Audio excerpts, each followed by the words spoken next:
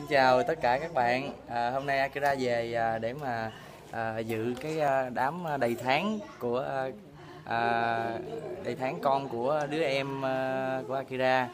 Thì à, đây nè cho các bạn coi nha. Đó, em bé là bé trai. Đó, bé trai rất là dễ thương. Đó, cười coi nè nè nè con con. Đó. Kêu Akira bằng bắt hai đó nha. Đó, thấy chưa?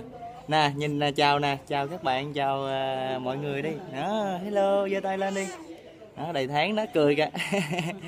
Đó, thấy không? Mút lớn lên ráng hát hay giống bác hai nha con. Đó hát hay. Miệng cười đẹp giống bác hai. Đó đi chưa thấy không? Ráng ráng đừng ế với mắt hai nha con. Dễ thương quá. Đó thấy không? Thương không?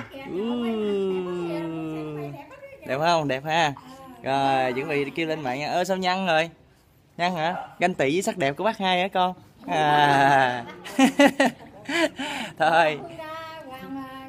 Dỗ Hoàng Minh Tâm dỗ Hoàng Minh Tâm nè đó đẹp hết xíu không? Dạ.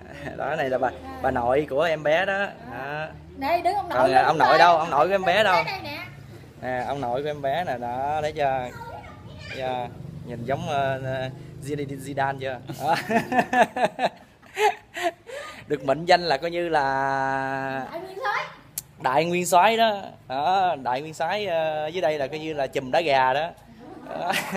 mấy anh công an đồ ảnh ờ, nhận kỹ mặt nha. Đó đây là chùm đá gà đó. Ok rồi